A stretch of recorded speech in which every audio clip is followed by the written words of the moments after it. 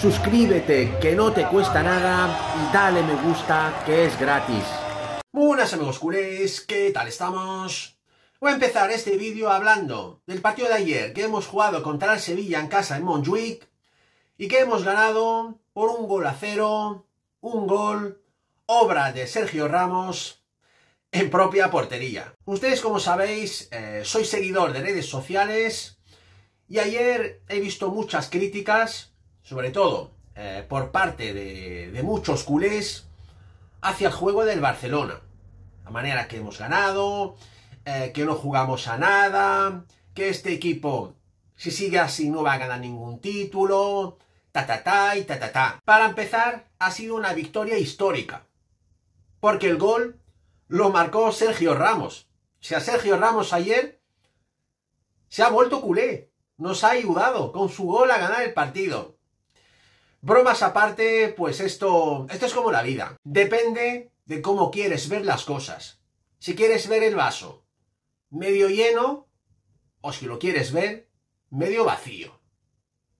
Si lo quieres ver medio vacío, pues vas a notar que el equipo todavía juega lento, que todavía dependemos eh, de los extremos y no jugamos por dentro, que hay, algunos, que hay algunos errores defensivos que hay que corregir de cara al futuro próximo, porque vienen partidos infernales este mes y cruciales, etc.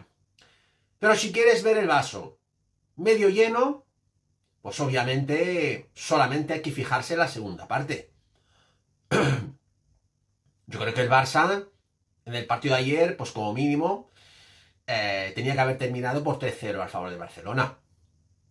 O sea, hemos fallado ocasiones clarísimas, no lo siguiente. O sea, Joe Félix, ese, ese tiro al palo, con la, con la portería pues casi vacía, pues hubiera sido gol, con condiciones normales. Algunas ocasiones de Lewandowski también hubieran, hubiera sido gol. Otras de la Yamal, lo mismo. De Fermín López, lo mismo. Y por suerte, ya sabemos que cuando la, pelotita no quiere entrar, pues el fútbol es así. O sea, tú puedes tirar 100 veces y no te entra. Y esto pasa no solamente a nosotros, pasa a todos los equipos grandes y no grandes.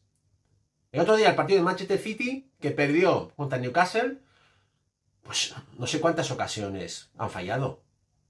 Y, es, y actualmente son el mejor equipo de Europa y del mundo. O sea, si tú quieres ver el vaso medio lleno, pues te quedas con estas cosas, con la segunda parte que hemos hecho. Grandísima, en mi opinión. Es que hemos mejorado el juego hasta por dentro, cosa que no hemos hecho, vamos, desde que empezó el partido. Y yo lo he, criticado ayer eh, en el resumen que he hecho, o la reacción. Y también te debes quedar con la explosión de los jóvenes. O sea, el partidazo que ha hecho ayer Fermín López es histórico en mi opinión, ha sido el mejor del partido, junto con Cancelo y Lamín. O sea, la explosión de Fermín, ojo que puede ser histórica. Y ahora con las lesiones de, sobre todo de Rafinha ayer, que, que luego voy a hablar de él, pues Fermín va a tener más protagonismo, va a tener más oportunidades de demostrar el crack que es. Es que es un crack. Fermín va a ser un crack mundial. O sea, si lo respetan las lesiones y si tiene la cabeza bien amueblada, que el chaval se ve, sí que la tiene. Vamos, se ve que la tiene amueblada. Súper humilde, trabajador, ¿eh? correcto, puntual. Va a ser un crack mundial. Gaby lo mismo. Ha hecho un partidazo ayer. Es que Gaby es un todoterreno.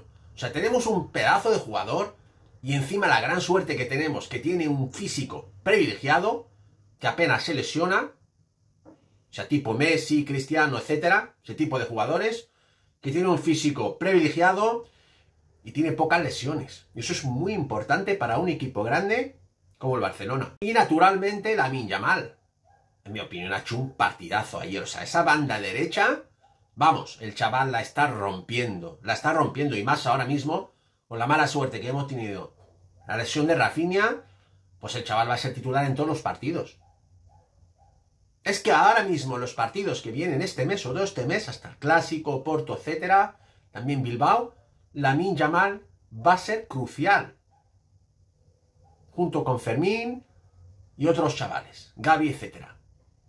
Así que, obviamente, los culés tienen derecho a criticar, yo también critico, pero también hay que decir también la verdad. O sea, no solamente vamos a mencionar las cosas negativas, pero también hay que mencionar las cosas positivas. No vamos a aparecer en la caverna, que solamente menciona las cosas negativas del Barça. O sea, que cuando tienes que criticar, una crítica constructiva, pues tienes que mencionar lo malo y lo bueno, no solamente lo malo. No, es que no, no, jugamos a nada, jugamos lento, perfecto, te lo compro. Jugamos lento, pero en la segunda parte hemos mejorado. Y nos quedamos también con la explosión de los chavales que la están rompiendo. Si tenemos que estar orgullosos de, de los chavales que tenemos. Yo ahora mismo me atrevo a decir que ningún equipo de Europa, me refiero a los grandes, tiene esta explosión de, chavales como tenemos nosotros.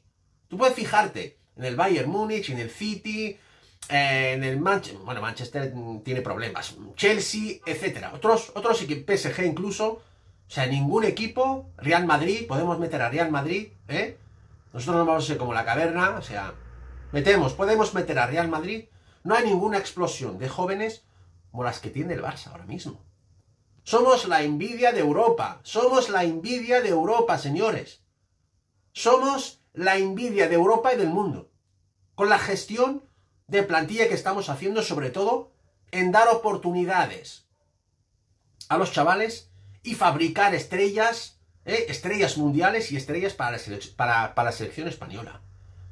O sea, el culé tiene que quedarse con esto y tiene que sentirse orgulloso de su club y de su escudo. Ahí lo dejo. Y referente a la actualidad deportiva del Barcelona, pues se confirma la lesión de Rafinha en el bíceps femoral de su pierna derecha.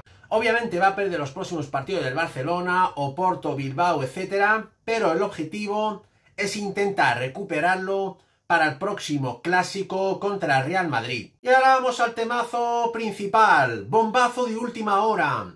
Una fuente deportiva muy importante asegura que Arabia acaba de cerrar el fichaje de un crack del Barça por una cifra que ronda los 100 millones de euros. Se trata de nada más y nada menos, atención, que del crack polaco, el 9 del Barça, Robert Lewandowski. La misma fuente informa que Robert Lewandowski ya tiene todo cerrado con Al Hilal Saudí y será el próximo compañero de Neymar Jr. en el club saudí a partir del 1 de enero del próximo año 2024. Y la misma fuente va a más, afirma que Robert Lewandowski ya ha comunicado al Barça su decisión y el club blaugrana aparte de la llegada de Vitor Roque en enero, va a utilizar esos 100 millones que va a cobrar de Arabia para cerrar el fichaje de nada más y nada menos